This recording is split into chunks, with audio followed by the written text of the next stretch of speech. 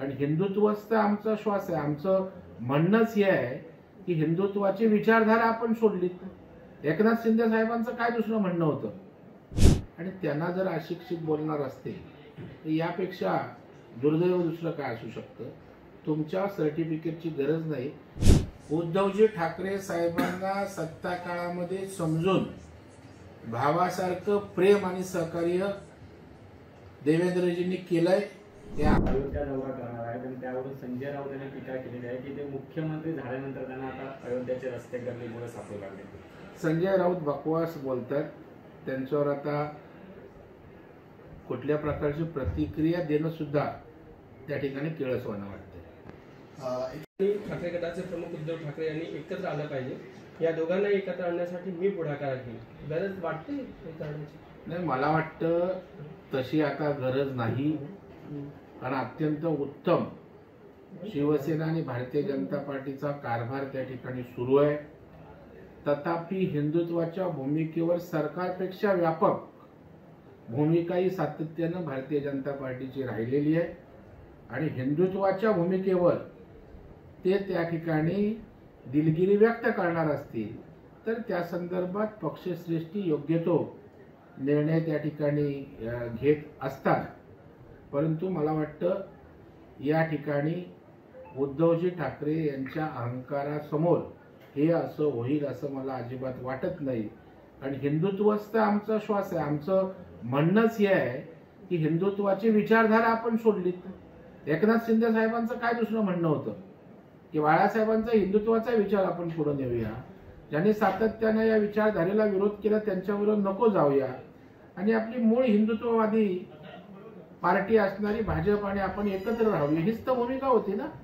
मग मूळ भूमिका ज्या कारणासाठी ते वेगळे झाले ती भूमिका स्वीकारणार असतील तर त्याचं स्वागत आहे. भाऊ. मी आता थेट पंतप्रधानांवर पुन्हा एकदा निशाणा साधलाय की अशिक्षित पंतप्रधान असल्यामुळे कुठेतरी देशाच्या प्रगतीमध्ये खंड पडतोय. आणि तसं एक पत्रही देशाला संबोधून मनीष सिसोदिया यांनी लिहिलेलं आहे जे तुरुंगात आहेत सध्या. मला वाटतं केजरीवालांचं म्हणणं हे देशवासियांचं म्हणणं नाही. कधीच या देशामध्ये शैक्षणिक धोरण नव्हतं केंद्राचं. ते केंद्र सरकारनं शैक्षणिक धोरण आणण्याचं काम पंतप्रधान नरेंद्र मोदी साहेबांच्याच नेतृत्वाखाली झालं याची बहुतेक त्यांना जाणीव नसावी. आणि मोदी साहेब सुशिक्षित अशिक्षित आज सगळ्या देशांमध्ये जाऊन एक स्वतःची आपल्या व्यक्तिमत्वातनं बुद्धिमत्तेतनं छाप त्या ठिकाणी उमटवतात. त्या त्या देशातल्या जाऊन भाषेत बोलतात. स्वतःचा देशाचा ठसा उमटवतात. आणि त्यांना जर अशिक्षित बोलणार असते तर यापेक्षा दुर्दैव दुसरं काय असू शकतं? तुमच्या सर्टिफिकेटची गरज नाही. देशवासियांना मोदी काय आहेत हे नीट माहीत आहे. उद्धवजी तुम्ही चुकलातच. देवेंद्रजी मोठ्या मनाचे आहेत. माफी मागा आणि प्रकरणावर पडदा टाका. नाही खरं म्हणजे पडदा टाकतील तर ते उद्धव ठाकरे कसले देवेंद्रजी अत्यंत संयमी सहनशील असे नेते आहेत.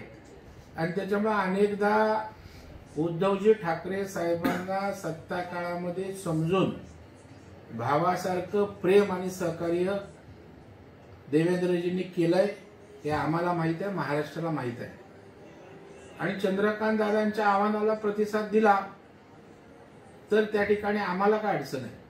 परंतु उद्धव ठाकरे अहंकारानं ओतप्रोत असे भरलेले नेते आहेत. आणि त्याच्यामुळे अहंकार आणि युगोमुळे पक्षाची वाट लागली संपूर्ण पक्ष लयाला गेला जातोय. चिन्ह घालवून बसले.